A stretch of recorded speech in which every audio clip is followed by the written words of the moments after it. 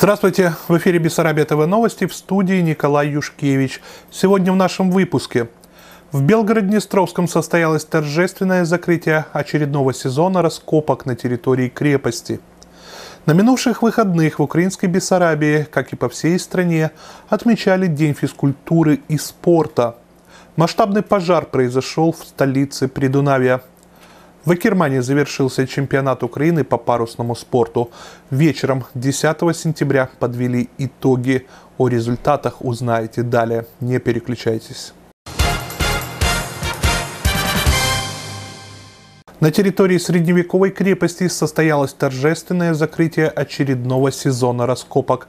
Начальник Белгород-Тирской экспедиции представил широкой публике некоторые находки этого года. Более подробно расскажет Елена Малаеван.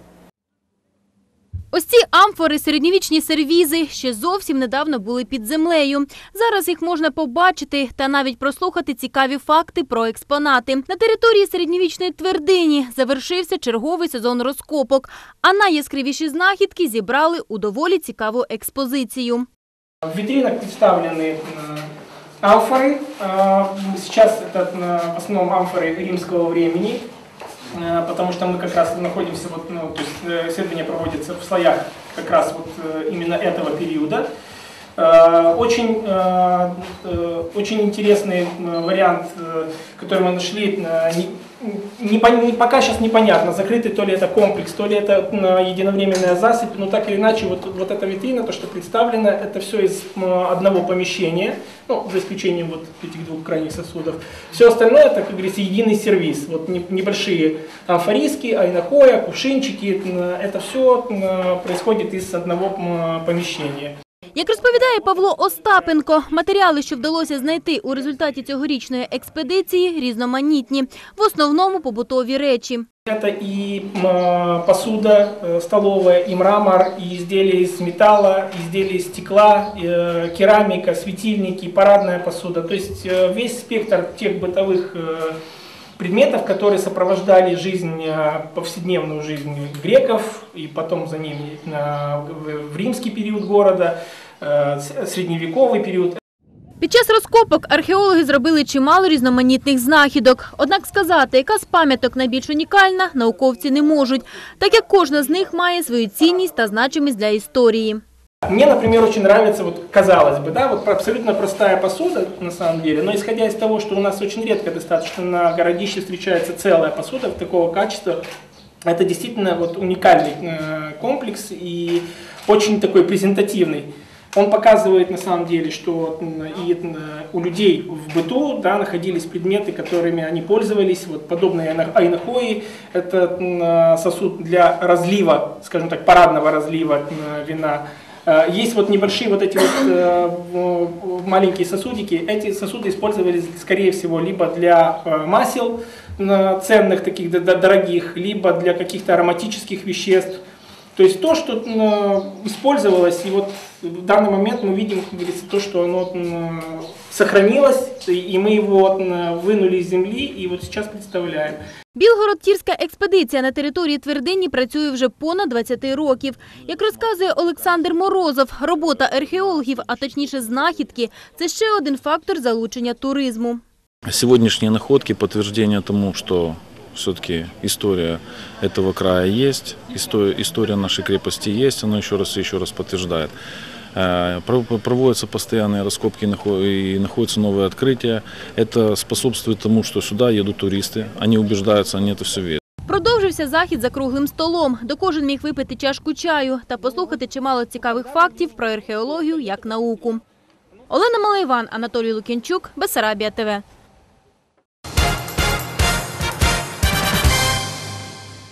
Бесконечная тема мусора остается актуальной для всех акерманцев и по сей день. Даже недалеко от средневековой крепости можно повстречать кучу отходов.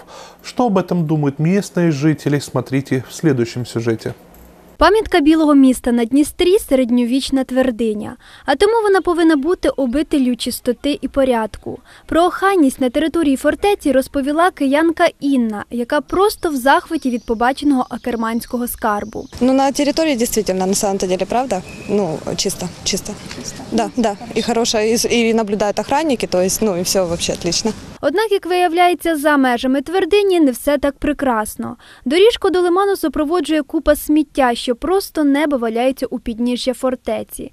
Місцеві жителі вбачають у цьому неохайність і невихованість самих же людей. В основном люди виноваты в этом, что разбрасывают, не убирают за собой мусор. М, Невоспитание наших детей, людей. Что еще можно сказать? Поколение невоспитанности. Це люди винуваті. Коли за собою ніхто не прибирає, то які комунальщики можуть встигнути за нами, за людьми? Надія стверджує, що урни потрібні не лише на території твердині. Їх варто встановити і за її межами. А люди не повинні їх проходити. Також жінка додала, що чистота у білому місті залишає бажати кращого. Ну, жалко, конечно, что у нас территория не убирается вот э, по городу. Нигде нет вот э, такого, чтобы территория убиралась хотя бы периодически, к сожалению. Город курортный, красивый, э, много э, хорошей погоды, и лето длинное, и везде можно гулять. И хотелось, чтобы город выглядел ухоженным. Отож, як розповідають акерманці, багато чого залежить від самих людей. Любов до рідного міста варто демонструвати не на словах, а в діях. Тому краще не залишати після себе сміття навіть у вигляді маленької, ніким не помітної обгортки. Олена Малоїван, Андрій Романовський, Бесарабія ТВ.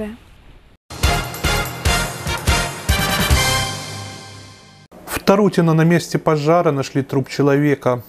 Как рассказали в пресс-центре Государственной службы по чрезвычайным ситуациям, 11 сентября около 12 часов дня в службу спасения сообщили о возгорании в многоквартирном одноэтажном жилом доме. Уже через пять минут на место вызова приехали первые подразделения огнеборцев. Они выяснили, что в одной из квартир горит домашнее имущество. В 13 часов пожарные ликвидировали огонь. Жилой дом удалось спасти от уничтожения. На месте ЧП обнаружили тело мужчины. Причина возгорания устанавливается, сообщили в пресс-службе ведомства. Жители Рени отметили День города. Торжества начались с молебна в Центральном Свято-Вознесенском соборе. Затем к памятнику Тарасу Шевченко возложили цветы. В парке организовали концерт и выставку детского творчества. Были и аттракционы для маленьких ренийцев. Во второй половине дня прошел парад байкеров. Как сообщают корреспонденты интернет-издания «Трасса Е95», в нем приняли участие более 100 человек из Одессы, Татарбунар, Измаила, Болграда, Килии и Рени. На центральной площади города они устроили шоу и провели конкурс на самую медленную езду. Многочисленные гости поздравляли в этот день местных жителей. Завершили праздник выступлениями коллектива Duke Time и группы Премьер Project, после чего в небе над площадью Свободы засиял фейерверк.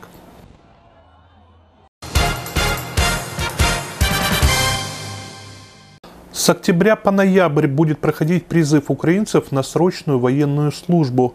В этом году отдать свой долг родине отправятся молодые люди в возрасте от 20 лет. Наталья Чеботарь побывала в Белгород-Днестровском военном комиссариате и узнавала особенности нынешнего осеннего призыва. Подробности смотрите в сюжете. Защитить родную страну, не оставаться в стороне. С 1 октября по 30 ноября в Украине проходит осенний призыв на срочную военную службу.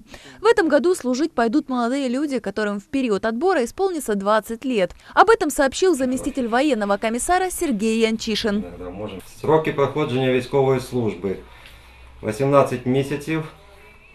Якщо громадяни України мають вищу освіту і йдуть на військову строкову службу, проходять службу 12 місяців.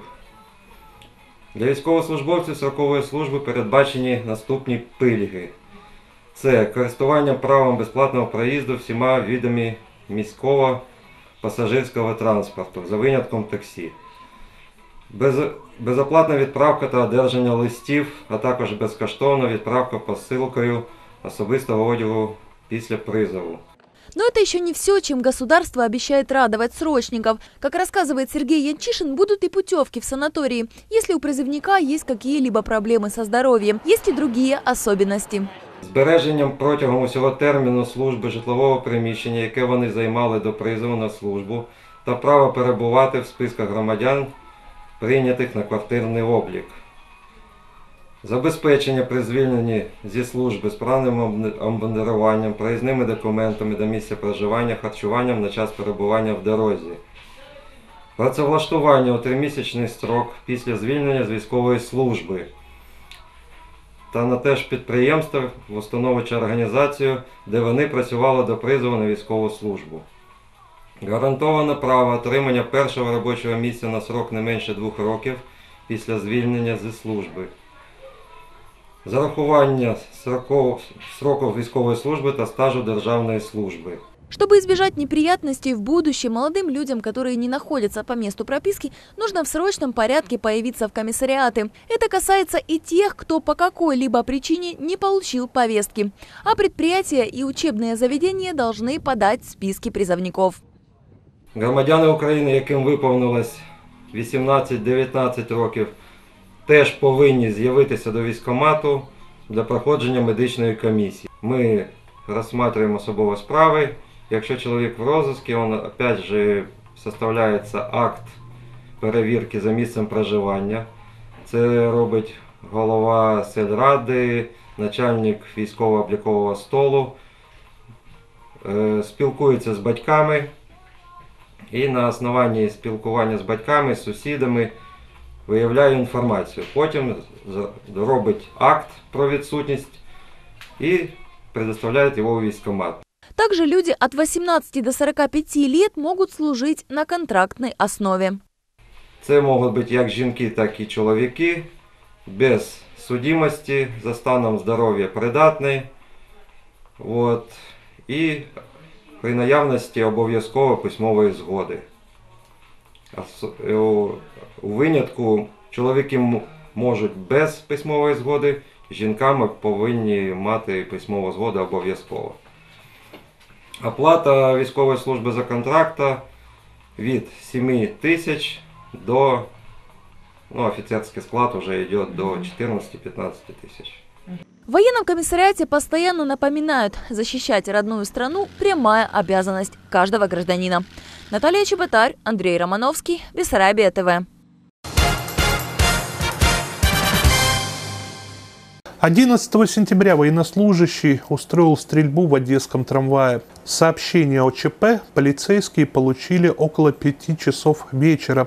Приехав на место вызова, они узнали от свидетелей, что во время движения в трамвае номер 5 между тремя парнями возник конфликт.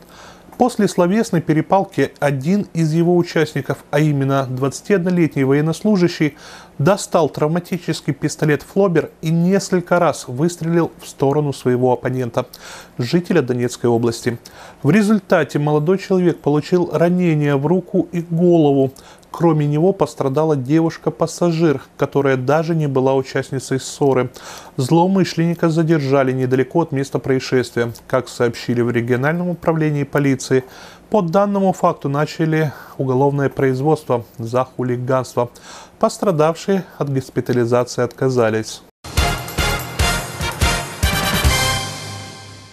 На минувших выходных в Украине отмечали День физкультуры и спорта. 11 сентября в одном из парков Белгород-Днестровского прошли соревнования на титул самого сильного аккерманца. Наша съемочная группа побывала на месте событий, а Наталья Чеботарь даже сама поучаствовала в одном из конкурсов. Украина всегда славилась красотой своих женщин и силой мужчин.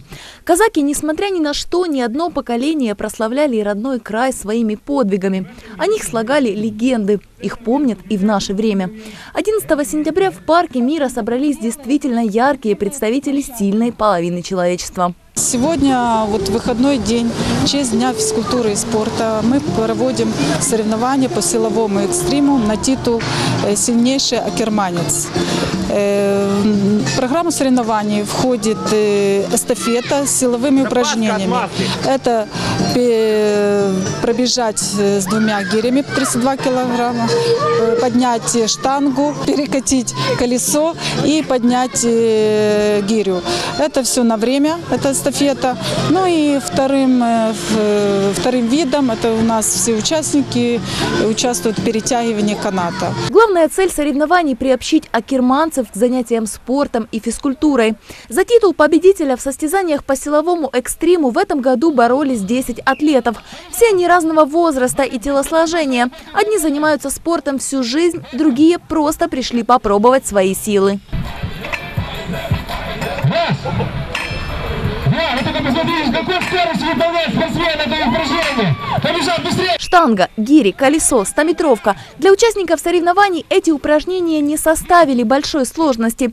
Один за другим они проходили дистанцию. Спортсмены показали блестящий результат, прекрасную подготовку и выдержку, чем и порадовали болельщиков. В финальном забеге за первенство сражались тяжелоатлет Дмитрий Панасюк и учитель физкультуры 11 школы Иван Янаков. Раз. Два, фиксируем локоть. Три, есть. Пока судьи готовились огласить результат, все желающие могли попробовать свои силы в командном перетягивании каната. Мы тоже решили не оставаться в стороне. И вот пришло время подводить итоги. Сверкающий кубок, связки медалей и почетные грамоты уже ожидают своих обладателей. А через несколько минут болельщики узнали, кто же стал самым сильным акерманцем в 2016 году.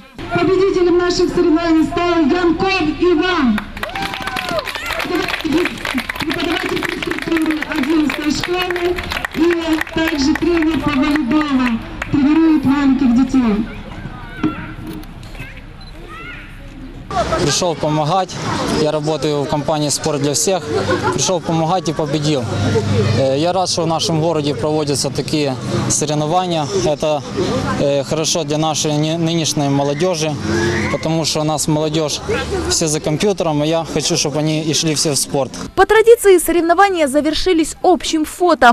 Этот день надолго запомнится всем присутствующим. А вскоре, возможно, Акерман пополнится и новыми спортсменами, и будущими чемпионами.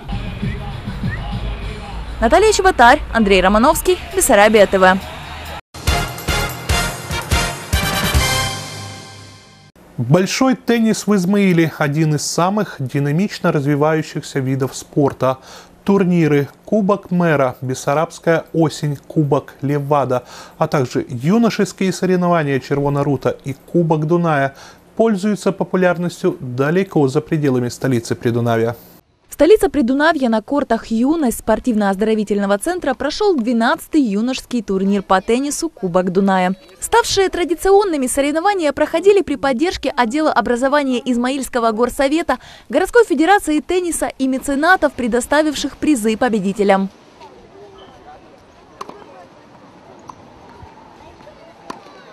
В течение четырех дней более 80 юных спортсменов от 9 до 16 лет из Одессы, Измаила, Днепра и Херсона боролись за право называться лучшими мастерами ракетки. Измаильчане Марк Васюк, Александра Василенко, Марта Автаева и другие юные теннисисты достойно представили столицу Придунавья, завоевав почти половину наград. Начальник Измаильского городского отдела образования Елена Мурашева пожелала ребятам новых ярких побед на спортивном поприще. Дуная давно стал доброй традицией в нашем городе. Пусть сегодняшняя победа для вас станет очередной ступенькой для более высоких наград. Победителей соревнований наградили грамотами, медалями и кубками. После торжественной церемонии юных спортсменов ожидало сладкое угощение от организаторов. Галина Величко, Игорь Коц, Измаил, Бессарабия ТВ. Масштабный пожар произошел в столице Придунавия. Как сообщают корреспонденты Бессарабии Информ, ЧП случилось в субботу, 10 сентября. Около 9 часов вечера в промышленном районе Измаила на улице Единства, бывшая советская, В одном из складских помещений, где хранились стройматериалы и макулатура, вспыхнул огонь. По информации издания, возгоранию предшествовал взрыв, предположительно газового баллона. К моменту приезда первых пожарных весь склад был охвачен огнем. Тушение пламени изначально усложнялось отсутствием достоверных сведений о содержимом ангара. По предварительным данным, происшествие обошлось без жертв и пострадавших. Примечательно, что охранник спал в соседнем помещении и ничего не слышал. Спасателей вызвали случайные свидетели. День физической культуры и спорта Украины отмечается ежегодно во вторую субботу сентября. В Измаиле к этому празднику приурочили не только турнир по большому теннису Кубок Дуная, но и четвертый открытый любительский чемпионат по гонкам на каяках. Галина Величко расскажет больше. В честь Дня физической культуры и спорта Украины 10 сентября на Дунае около Диорамы прошел четвертый открытый любительский чемпионат по гонкам на каяках. Идейный вдохновитель и организатор множества интересных состязаний, заместитель председателя физкультурно-спортивного общества Украина поздравил измаильчан с праздником. Сегодняшние соревнования, они приурочены ко Дню работников физкультуры и спорта. В связи с этим всех общественников, всех спортивных руководителей клубов, федераций, организаций я поздравляю с сегодняшним праздником. Желаю им самого главного здоровья. Почему? Потому что наше время здоровья это важнее. Удачи, спортивных достижений и, главное, поставленные цели и задачи новых побед в этом году выполнить. Организаторами этого увлекательного соревнования выступили городская федерация водного туризма, отделение физкультурно-спортивного общества «Украина» и «Каяк-клуб». Содействие в проведении чемпионата на Дунае оказали стражи кордонов Измаильского погранотряда. Патрулирование вдоль водной границы осуществлял их катер. Почетный президент Измаильской городской федерации водного туризма, ректор ИГГУ Ярослав Кичук отметил, что каякинг – это не просто вид спорта. Целая э, философия э, бережного отношения к окружающей среде, к экосистеме, в частности Дуная. И, конечно, мы заинтересованы в том, чтобы э, вот этот слоган известный «быть здоровым, быть активным, быть спортивным» э, был очень популярный среди молодежи. В этот день нашим горожанам и жителям всего Придунайского региона хотелось бы пожелать, конечно, в первую очередь крепкого здоровья, бодрости духа, спортивного оптимизма и, конечно же, активной гражданской позиции, чтобы все задуманные планы и мечты сбывались. С праздником вас! Соревнования проходили в нескольких категориях. Одиночный заплыв среди мужчин и женщин, парные заплывы и гонки на катамаране. В них приняли участие около 100 спортсменов-любителей. К сожалению, Лебяжье озеро, где прошли три предыдущих чемпионата, не соответствует санитарным нормам. Поэтому местом проведения выбрали городской пляж на Дунае.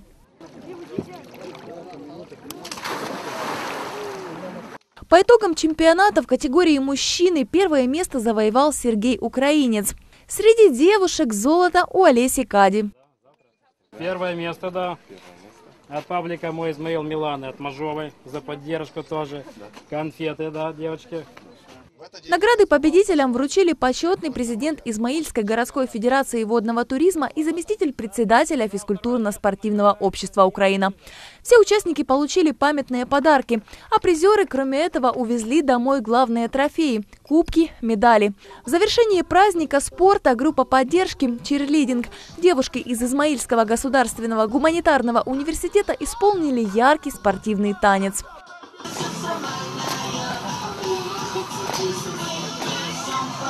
Галина Величко, Игорь Коц, Измаил, Бессарабия ТВ.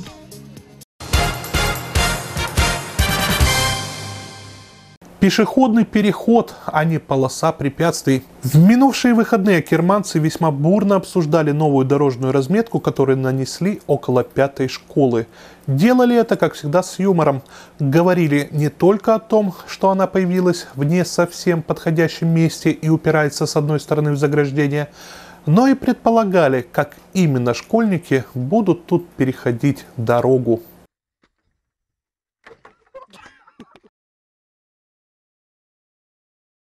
Вероятно, что после таких комментариев ответственные лица все-таки обратили внимание на проделанную ими работу.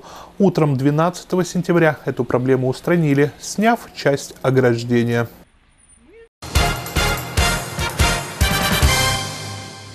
В Акермане завершился чемпионат Украины по парусному спорту.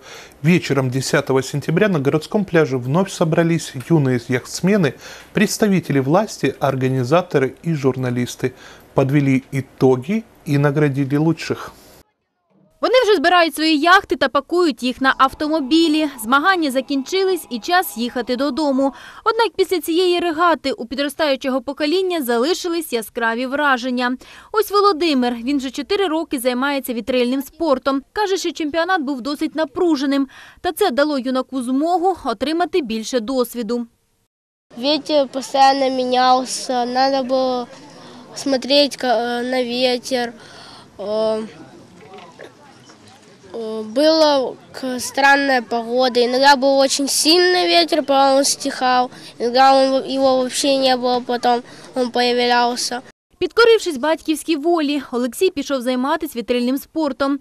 Та ще жодного разу не пожалкував, що вибір був саме такий. Прорегатор розказує, що вона не схожа на інші. Особливо складними були погодні умови. Было интересно, все друг друга обгоняли, конечно, но ветер желал оставлять лучшего. То есть ветер был не очень хороший, и управлять лодкой было очень сложно. Э, Мы старались как могли. В'ячеслав Сметанка розказує, що останній день чемпіонату провели чотири гонки. Так, за весь період регати, навіть не дивлячись на погоду, їх пройшло дев'ять, що є виконанням програми. Сами соревнования были достаточно сложные, потому что у нас были нелегкие ветровые условия. Сегодняшний день мы специально спланировали таким образом, чтобы стартануть раньше и провести дополнительные гонки, чтобы вся программа была завершена. То есть от обычных стартов в 12 часов или в 11 мы сегодня встали пораньше, и в 10 утра мы дали старт первой гонки. Вот только что закончилась последняя девятая гонка. Наша регата ближется к завершению. Ну і звичайно, який же чемпіонат без переможців, які розказали свої враження від регати та поділились секретом успіху. Это очень веселое соревнование, новая акватория, всегда интересно. И первые два дня мы, наверное, не знали, кто выиграет, поскольку новая акватория, новое течение, новый ветер. Но потом мы как-то начали понимать это все и начали выигрывать. Было очень сложно, противники сильные, поскольку я не такой опытный, как они. Было очень сложно. А сколько лет вы занимаетесь? Я два года. Два года. И есть уже э, какие-то результаты? Или это ваше первое, первое место? Это первое место мое. Достаточно яркие, очень э, да, да, да, необычное впечатление. Э, ну, как бы стать чемпионом Украины может не каждый. Я очень рад, что представилась такая возможность. Які належать усіх переможців, нагородили грамотами та кубками. А вихованці Центру культури та дозвілля подарували присутнім та учасникам незабутній танець моряків.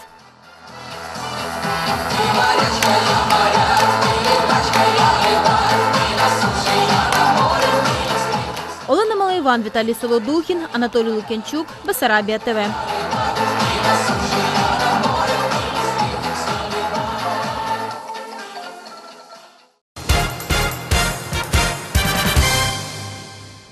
Это были все сюжеты на сегодня. Мы встретимся с вами уже завтра, как обычно, в 18.00 на телеканале Бессарабия ТВ.